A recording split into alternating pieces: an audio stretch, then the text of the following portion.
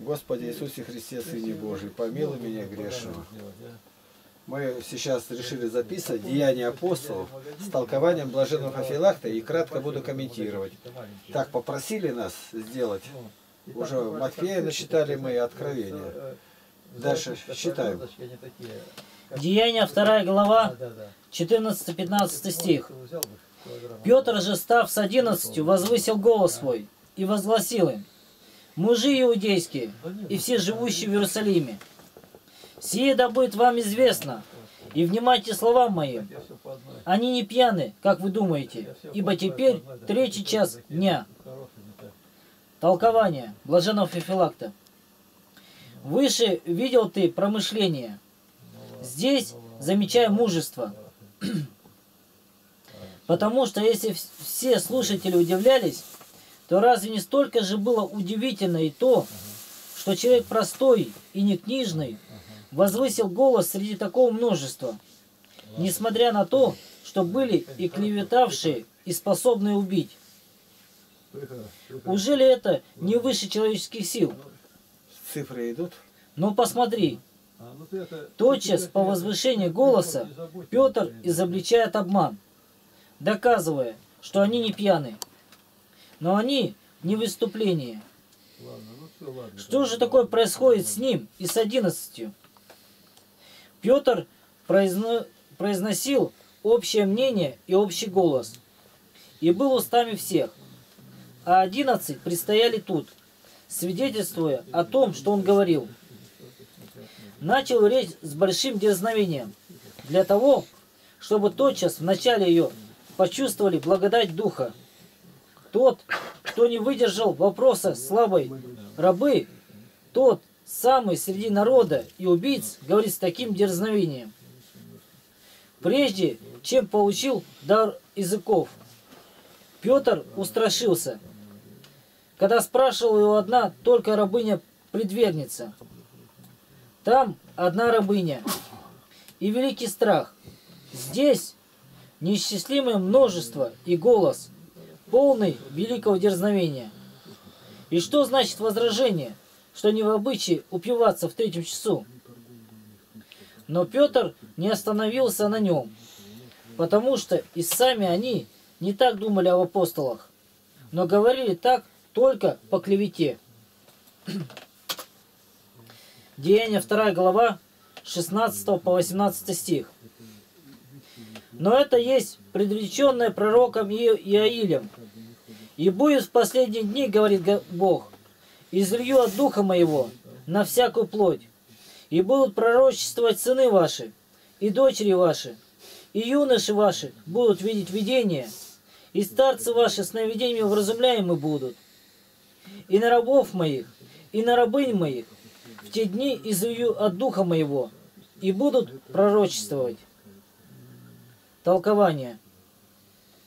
Ссылается не на Христово имя, не на Христово обетование, но на обетование Отца. Замечай предусмотрительность. Не умолчал о пророчестве, но и не сказал прямо о том, что касается Христа. Именно, что он после того, как был распят и восстал, обещал апостолам этот дар. Если бы Петр сказал это, то испортил бы все, хотя это и могло доказать божественность Христа, но показалось бы невероятным. Вопрос же в том, чтобы поверили тому, что говорится, а то, что показалось бы невероятным, заставило бы их поколебаться – Этих недоумений ничто не в состоянии разрешить, кроме пророческого свидетельства. Итак, когда возникает какой-нибудь сомнительный вопрос, не прибегать к рассуждениям. Рассудо... Рассудочные... Рассудочное обсуждение. Рассудочное обсуждение также опровергается, как составляется. А глаз Божий кто разрушит? Рассуждение разрушается. Писание не разрушается. Не сказано «изолью дух мой», но от духа моего. Не дух, но дар духа изливается на всякую плоть. и именно на уверовавшую, то есть на язычников. Подают им добрые надежды и не позволяют ожидаемое благо присваивать себе одним. Через это самое он подсекает и зависть в самом ее корне. Обрати же внимание на то, как разнообразно откровение Святого Духа. Один, имея благодать Духа, пророчествует. Другой, не способный на это служение, получает дар видений.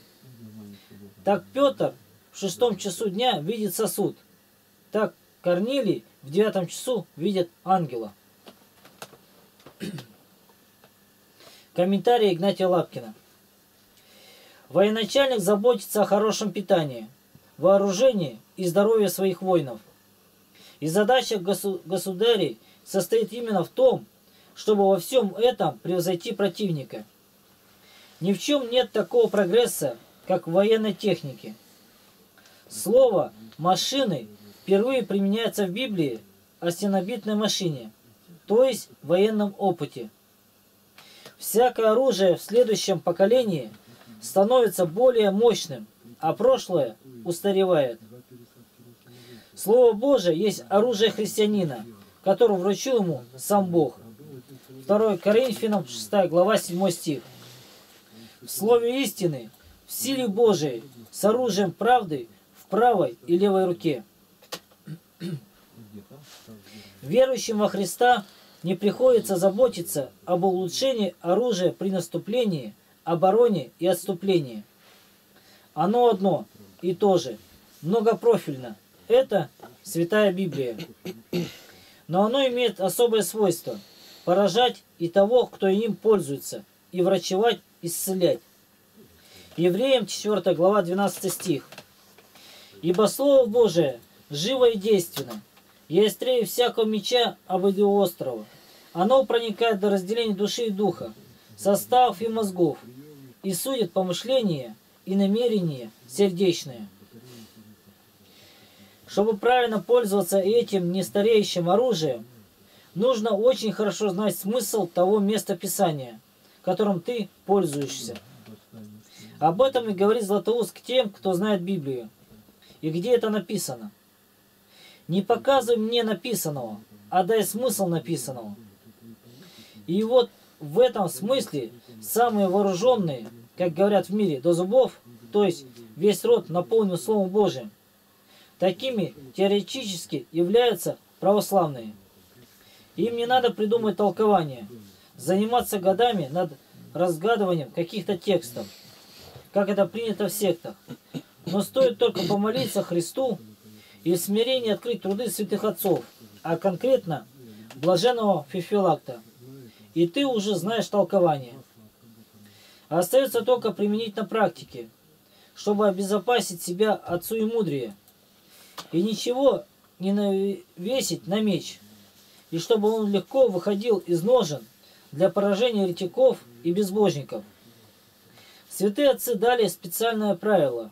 Шестой Вселенский собор, 19 правило чтобы никто не толковал Библию, вопреки уже истолкованного святыми мужами. Иоанн Златоуст.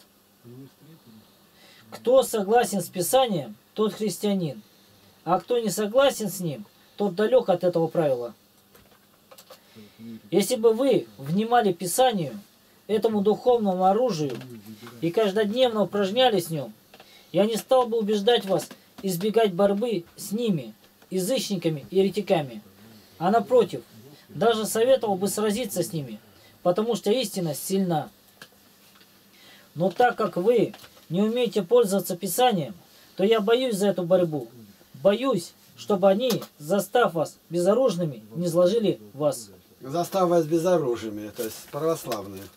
Видите, как я толкую? Я ничего не толкую. Я эти места только расширил через Златоуста. Деяния 2 глава с 19 по 21 стих. «И покажу чудеса на небе вверху, и знамения на земле внизу, кровь и огонь, и курение дыма. Солнце превратится во тьму, и луна в кровь. Прежде, нежели наступит день Господень, великий и славный, и будет всякий, кто призовет имя Господне, спасется. Давай. Толкование. Этими словами пророк наперед ясно предсказывает и о будущем суде, и об Иерусалиме, и о плане иудеев, и о событиях, имевших быть при кресте Христовом. И, наконец, о том, что случилось с иудеями вследствие Римской войны, когда в Иудее проливалось римлянами множество крови, когда раз, развивался дым от сожигаемых городов и селений.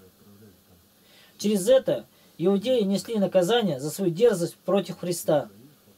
За дерзость, которой не перенесло и самое солнце, и смежило свое око. Не перенесло. Ну, Да. световую силу, и луна свой сребровидный образ изменила в красный цвет. Говорят, однако же, будто много подобных явлений было на небе и во время разрушения Иерусалима. Так свидетельствует Иосиф Флавий. Впрочем, словами «луна приложится в кровь» пророк указывает и на чрезмерную жестокость заклания, то есть распятие Господа. Но почему происходит это в третьем часу? Чтобы показать чудесность этого явления. Блеск огня виден среди светлого дня, когда все на площади. Скажи иудею, если одно лицо и одно имя у божества, и если Бог говорит сам о себе, то почему не сказал, прежде нежели наступит день Господень? Если, говорит Петр, вы согрешаете теперь безнаказанно, так на это не надейтесь, потому что это только начало того великого и трудного дня. Подвигнув этим и устрашив сердца их, он успокаивает их и дозволяет им питать доброй надеждой. Но не просто призовет, а кто призовет с расположением и с доброй жизнью. Включив теперь свою речь слово о вере, о необходимости веры. Потому что спасение зависит от призывания. Он делает свою речь удобо понятную. Имя Господне, по объяснению Павла, призывается во имя Христа. Но Петр на этот раз не решился открыть это своим слушателям.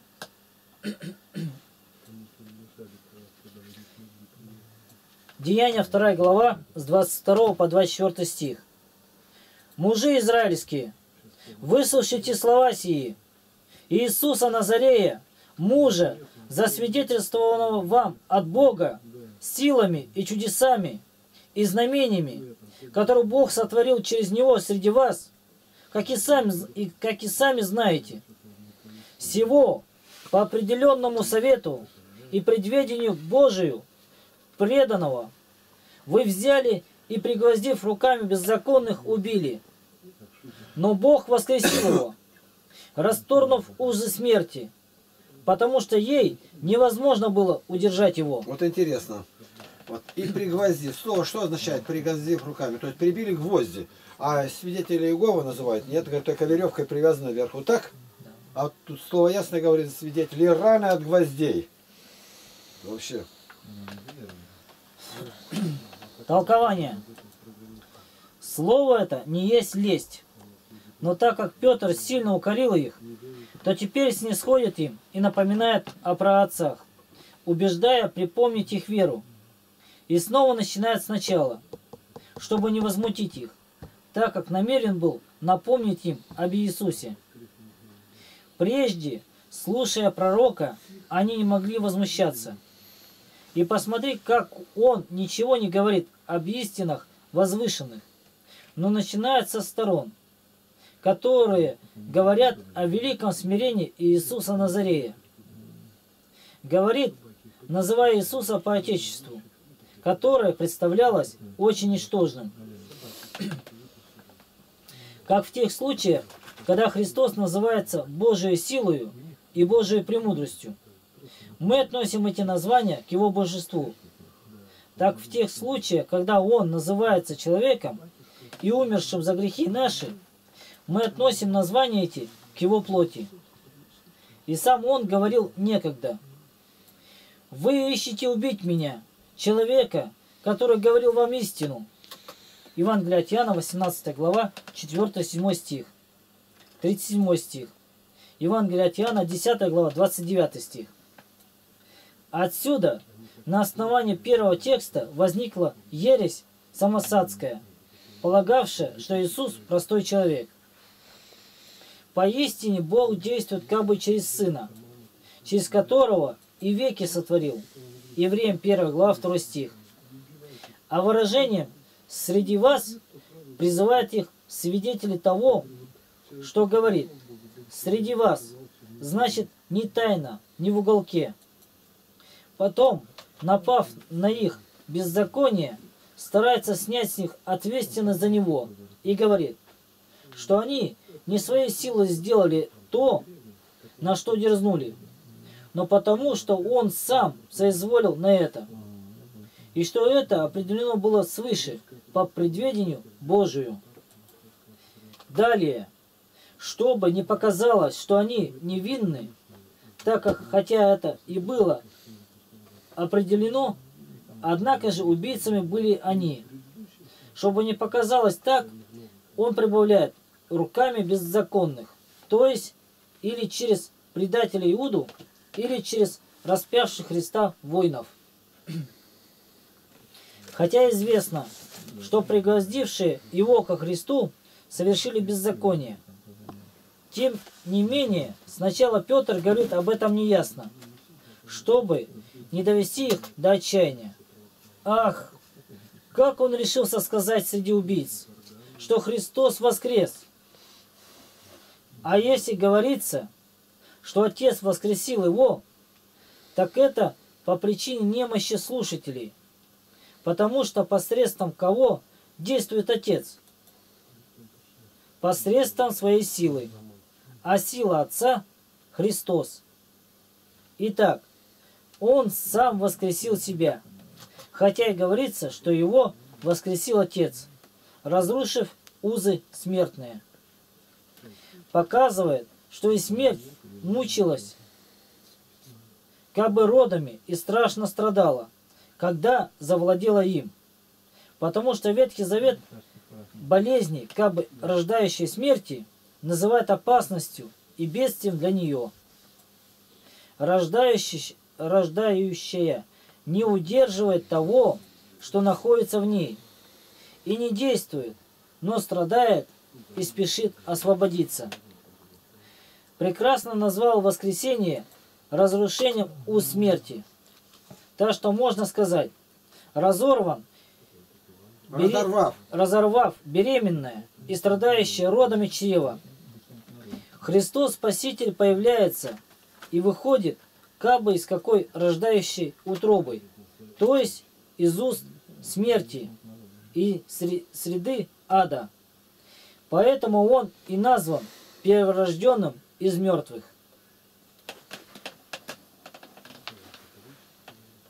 Деяния 2 глава с 25 по 28 стих.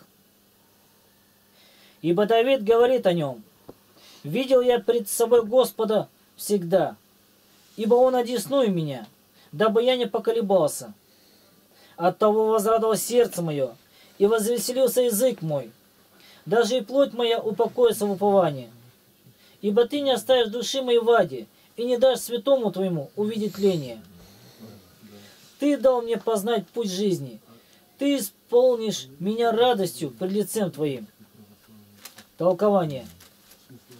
Когда намощенный таинственно Духом Своим Христос вступил в борьбу со смертью и подчинился этому губителю, тогда появившийся противник был сокрушен. Хотя и совершилось это теперь, но предначертано было издревле. Бог соизволял на это сначала, и сначала так предначертал. Иисус принял образ раба.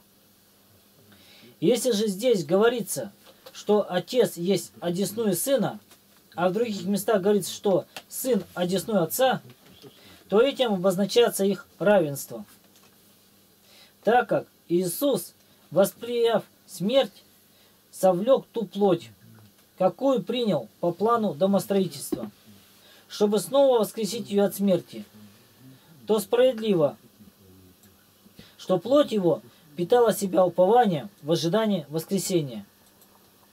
Они верно и благочестиво говорят, что тело восстало, чтобы быть нетленным и духовным, так как, воскрешая плоть, Воскресшая плоть. После воскресения есть тело духовное и нетленное.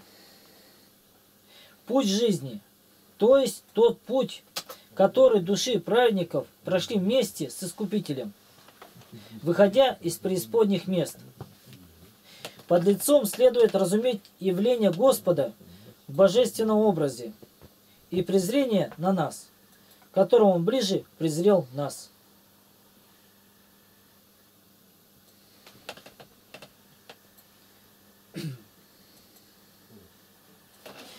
Деяния 2 глава с 29 по 31 стих.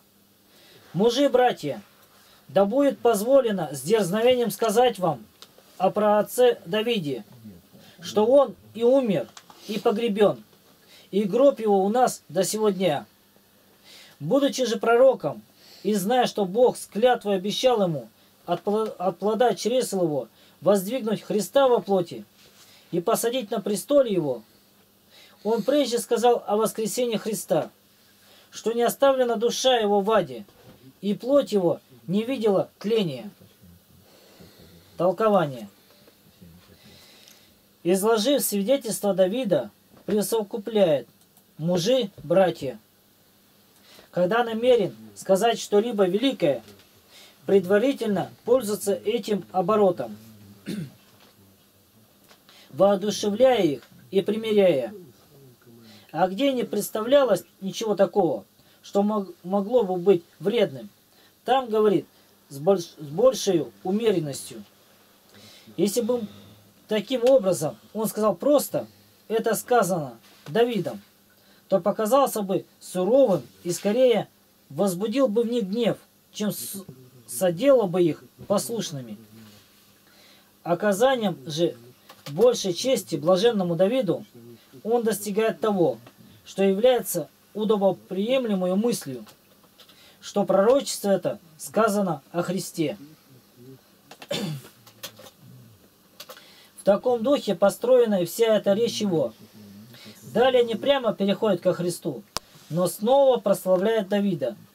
И этими прославлениями Давида достигается цель слова. Потому что для того и говорится это, чтобы иудеи ради чести, оказываемой ими Давиду, и ради его рода приняли слово о воскресении Христа. Так что, если бы этого не было, то есть, если бы они не приняли слово о воскресении, то и оказали бы пренебрежение к пророчеству и подорвали бы уважение к себе самим. Престол употребляется вместо царства во многих местах Божественного Писания. Так и здесь, и в следующем месте престол Твой Божий век века. По плоти говорит, потому что по божеству Он от века и всегда сидит вместе с Отцом. Приписывает же все Отцу, чтобы удобнее могли принять то, что говорится. Но каким образом сидит на престоле Давидовом? Таким, что он есть царь иудеев, и тем более тех, которые распяли его.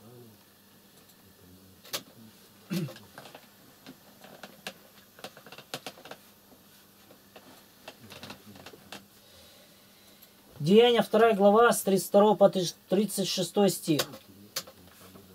Всего Иисуса Бог воскресил, чему все мы свидетели. Итак, Он, быв вознесен в десницу Божию и приняв от Отца обетование Святого Духа, излил то, что вы ныне видите и слышите. Ибо Давид не, вошел на небеса, но сам говорит, сказал Господь Господу моему, сиди одесную меня, доколе положу врагов твоих в подножие ног твоих. Итак, твердо знай, весь дом Израилев, что Бог соделал Господом и Христом всего Иисуса, которого вы распяли. Толкование. В начале слова, когда и пророка Иаиля привел во свидетели, не говорил, что Христос послал Духа Святого, но говорил, что послал его Отец. А когда напомнил и о знамениях Христовых, и о том, что сделано было против Христа, и когда с дерзновением высказал истину об его воскресении, тогда, наконец, говорит уже, что Христос излил Духа Святого, что, следовательно, пророк о нем говорил, и будет в последние дни. Обетование же разумеет или то, которое обещал сам апостолом, или то, которое обетовал Иисусу Отец прежде креста и страданий. А так как Петр имел сказать великую и высокую истину, именно то, что Духа Святого излил Христос, то затеняет ее, сказав, что Отец дал ему это обетование. Потому что, кто бы что ни говорил, если слово свое оканчивает без пользы, говорит напрасно и попусту. Показывает также Петр, что крест не только не унизил Иисуса, но придал ему еще более блеска.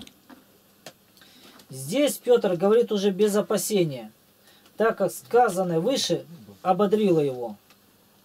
Если уже Давид называет Иисуса Господом, то тем более иудеи не должны отрицать этого. А чтобы не подорвать веры в себя, он приписывает все отцу. После того, как сказал о предметах великих, он слово свое снова сводит на дела смирения Иисуса. А кто сии враги? Это объясняет апостол. 1 Коринфянам 15 глава с 24 по 26 стих. А затем конец, когда он предаст царство Богу и Отцу, когда упразднит всякое начальство и всякую власть и силу, ибо ему надлежит царствовать, доколе не изложит всех врагов под ноги свои. Последний же враг истребится – смерть. Все на этом. Слава Христу, хорошо получилось. Благодарю. Да. Давай.